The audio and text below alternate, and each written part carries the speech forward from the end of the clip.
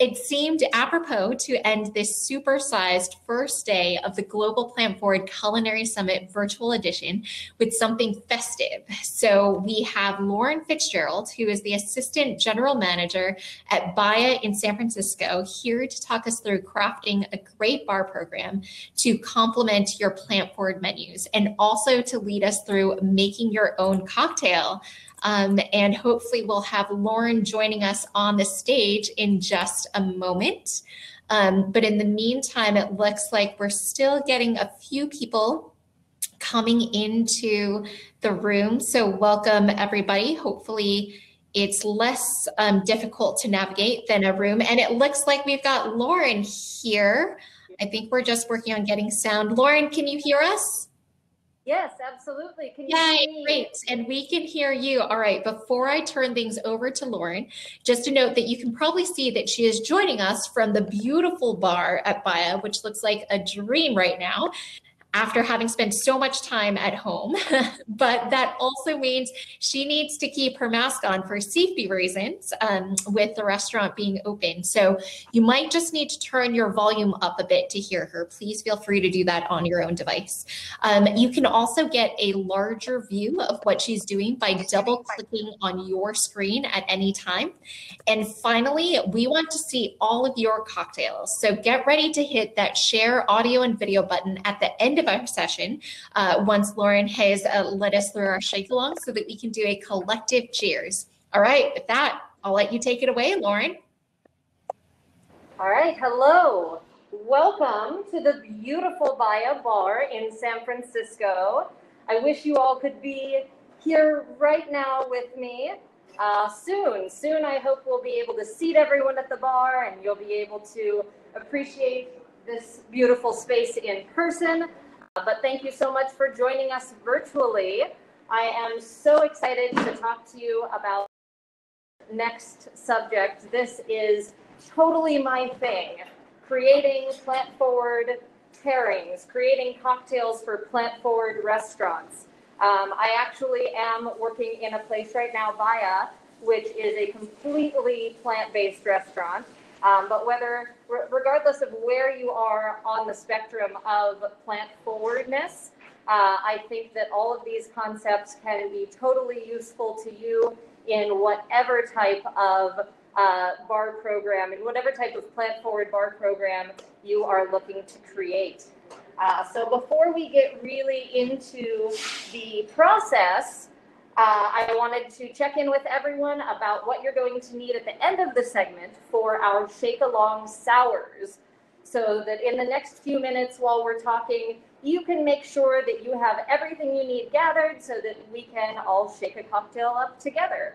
Uh, so quick overview of what you will need. You will need shaking tins or something to shake liquid in.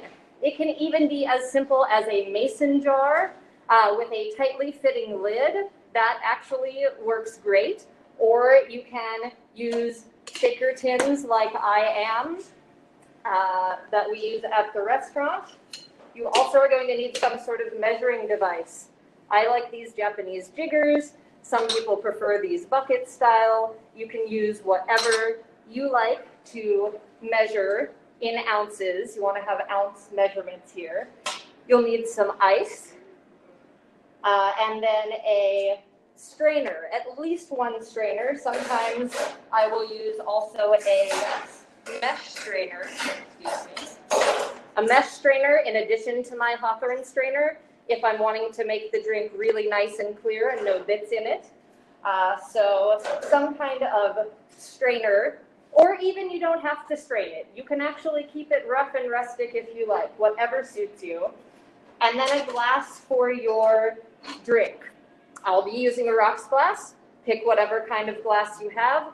The idea here with the shake along sours is that everyone can participate regardless of what you have in your pantry. Uh, the other thing I didn't mention in the list is a muddler, which if you're using some kind of fruit that needs smashed, like I am, blackberries, you'll want to have something to smash them with. So we also have a muddler on hand for that. Uh, you'll need, in terms of ingredients, two ounces of the spirit of your choice, one ounce of citrus, lemon or lime, and then a half an ounce to an ounce of sweet and a half an ounce to an ounce of fruit. Now that's where it starts to become more of a personal call as far as how sweet you want your drink to be, what sort of fruit you're using, personal preferences. But there's a quick overview of what you're going to need to gather over the next few minutes. So let's talk about creating a cocktail program for your plant forward restaurant.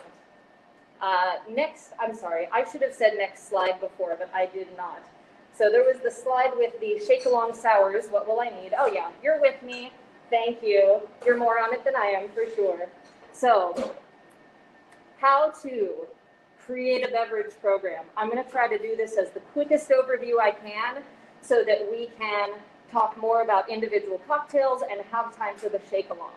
Uh, but I like to begin with the big picture. What does it look like? What is my overall aesthetic? How many cocktails do I want to have on the list? What's the breakdown? How many are stirred? How many are shaken? What colors are they?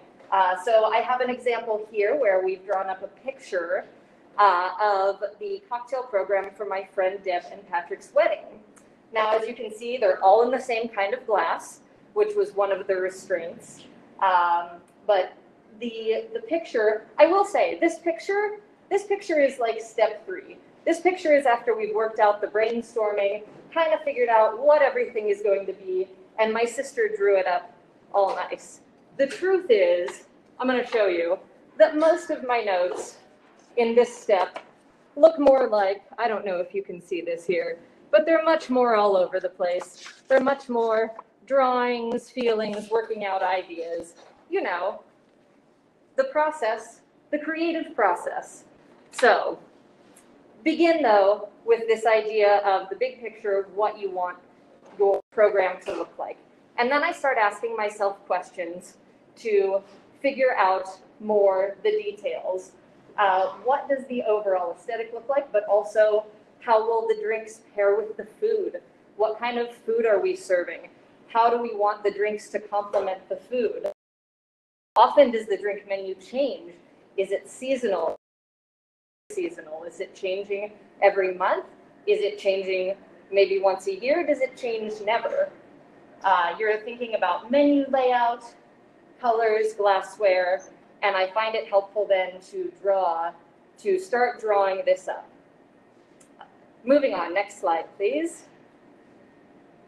So, what does a strong bar program have? I realized, thinking through this, that in a way this applies to any bar program, not just a plant forward one. Um, but these things are still true, so worth mentioning.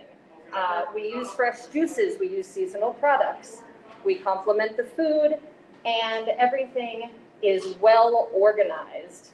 Leading to the next slide, please.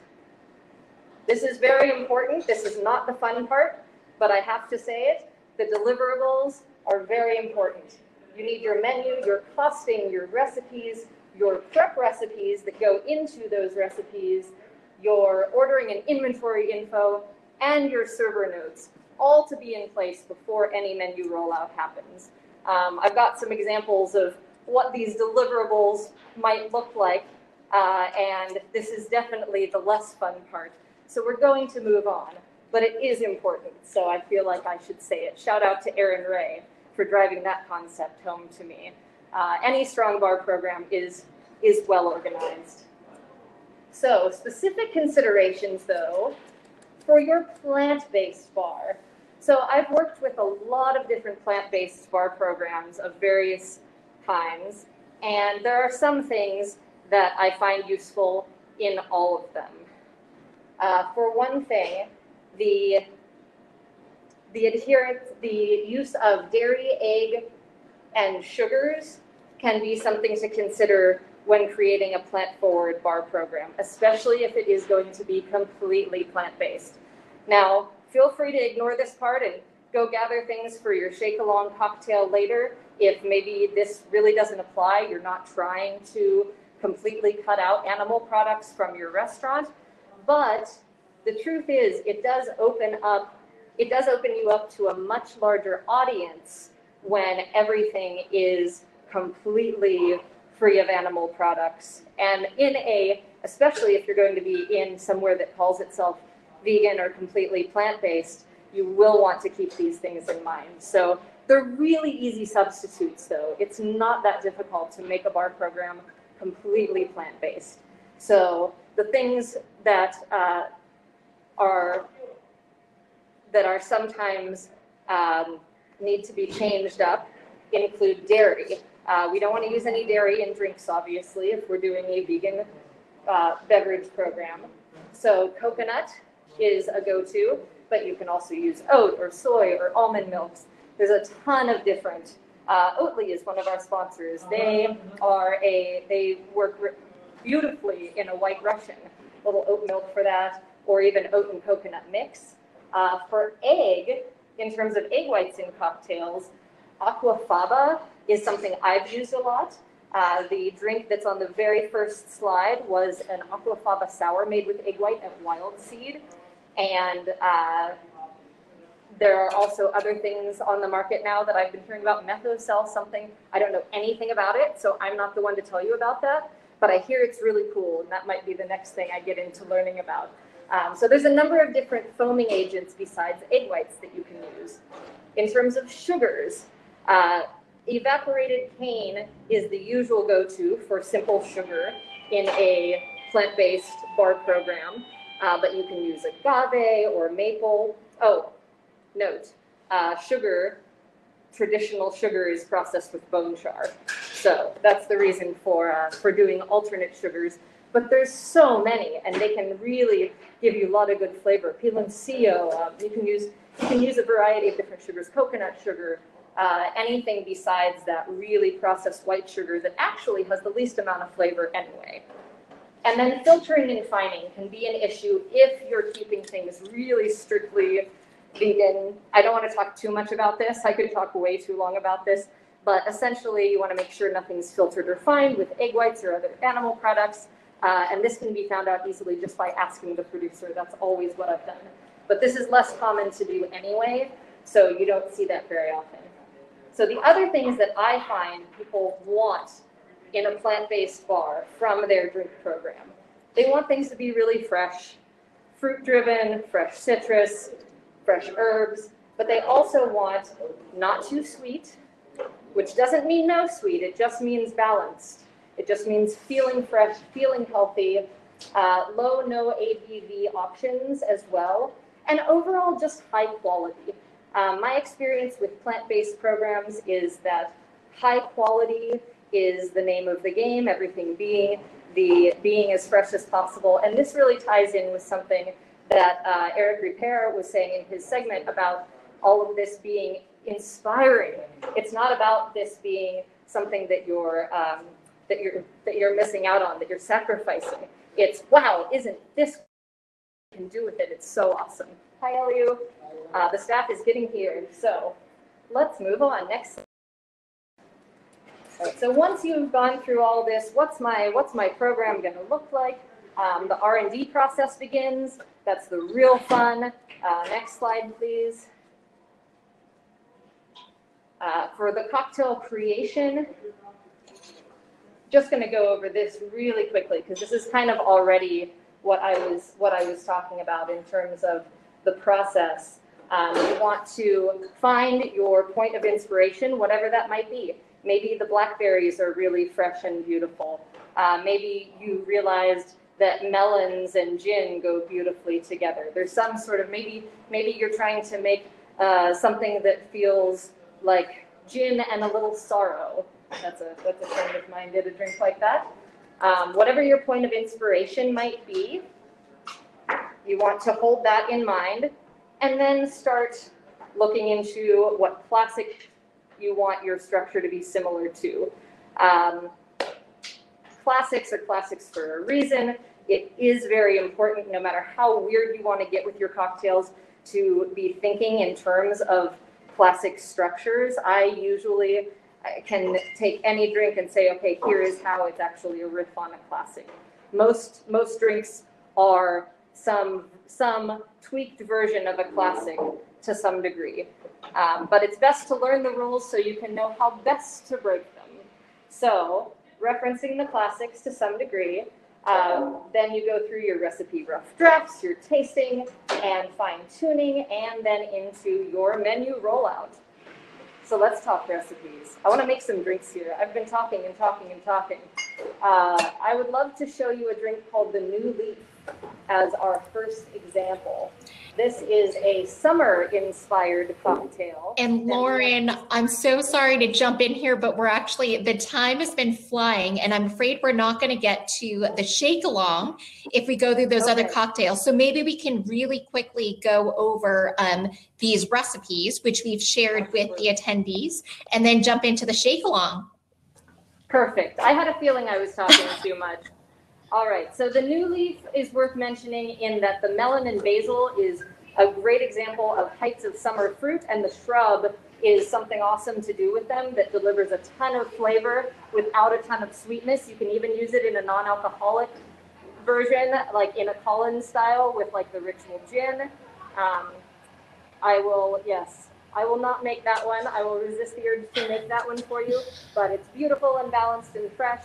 Uh, the salt and pepper is more of a fall inspired cocktail. It's actually from Wild Seed and is still on the menu there and is all about this sort of deep, rich flavors and colors of fall, these roots, um, and that little bit of smokiness. It just feels very fall, but it's actually a cocktail that can work year round.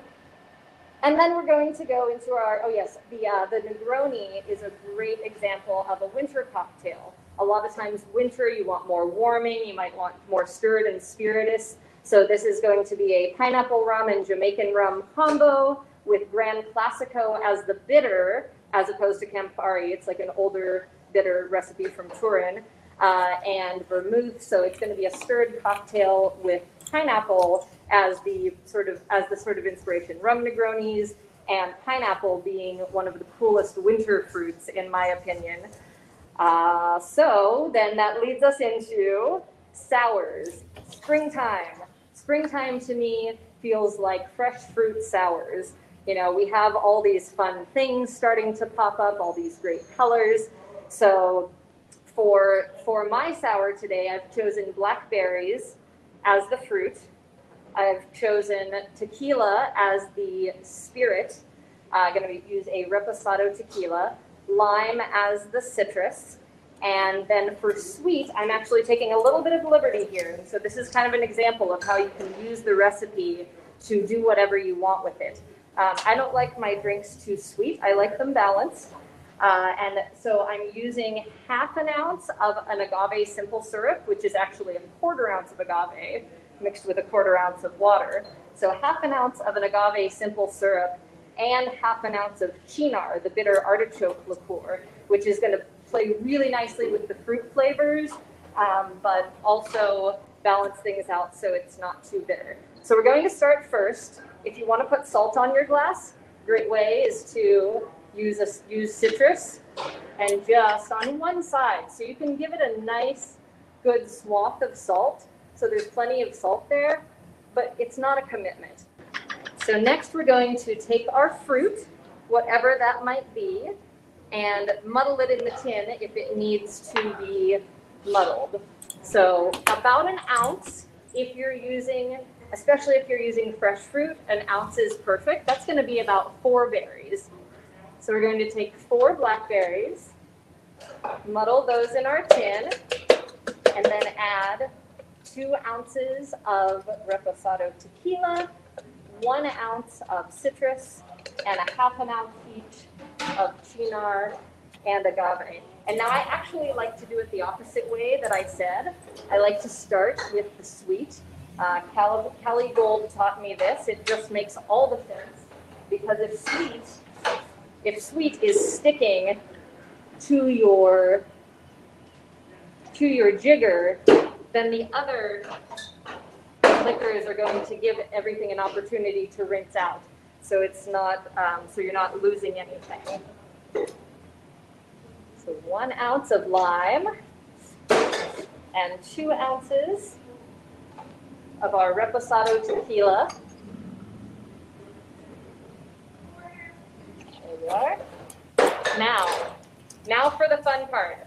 I'm not gonna go yet because I wanna make sure everybody is with me. We're gonna put ice in our shaker, whatever that shaker might be. We're gonna seal it up well. And then you can shake whatever way you're most comfortable with.